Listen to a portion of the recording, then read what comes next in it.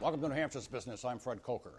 New Hampshire's court system is under strain because of state budget cuts. We're going to talk to the president of the New Hampshire Bar Association in just a minute, but first let's go to these graphics. This shows the strain. There are 40 courthouses in the state. There's a $4.1 million budget cut total this past year. Judge time will be down about 20%. Use of retired judges is eliminated.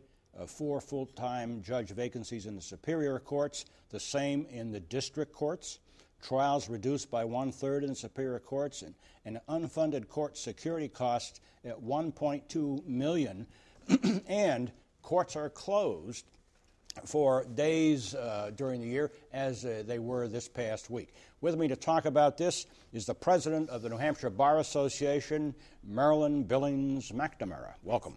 Thank you. It's a pleasure to be here. Nice to have you, and you're also with the law firm Upton and Hatfield based in Concord. Yes, that's correct.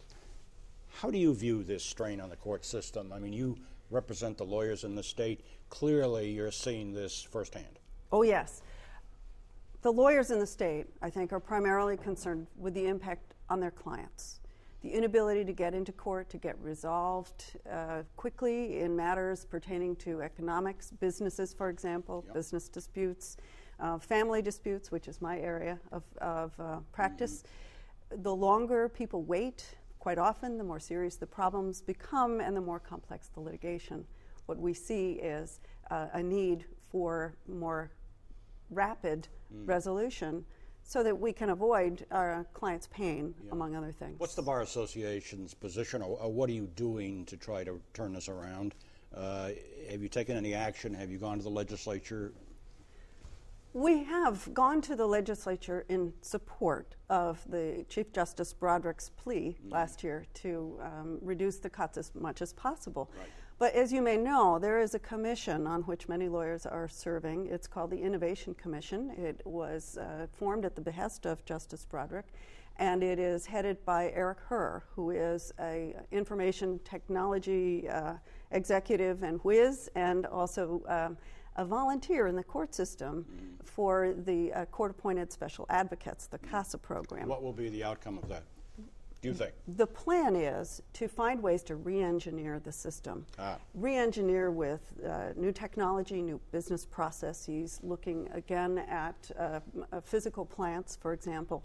As you may know, we are not the only state in the country that has these issues, ah. and so there has been considerable discussion and collaboration between not only New Hampshire, but also I would say the majority of the states yeah. in this in the uh, in the United the, States. The practical effect of this, as you alluded to, uh, are fewer civil trials, yes. fewer criminal trials, yes. fewer arraignments to begin with. Yes. Just a delay in the whole justice system. Yes, that's correct. And this is going to pile up, I would assume, over time things, it, these issues don't go away. Yeah. So that although there, there, we talk about it as if there will be fewer trials, in fact, there will be the same number of trials. They will simply be delayed. Yeah. Hence, more complex and perhaps longer in time. What do you think the solution is? I think that the re engineering we're talking about in the Herr Commission, on mm-hmm. which I also sit, will result in more efficiencies uh, more use of technology, technology that the court system right now doesn't have the budget, frankly, to, to right. uh, afford. But I think one of the results will be looking at um, how we use what we can uh, by way of information services and systems to make our court system more efficient. Okay, well, I want to thank you all too short, but the message is clear. There's a problem. Yes. Marianne, uh, Marilyn, rather, Billings McNamara, President of the New Hampshire Bar Association. Thank you. Thank you. And if you missed part of this interview, you can see it again at WMUR.com. Just click on Project Economy.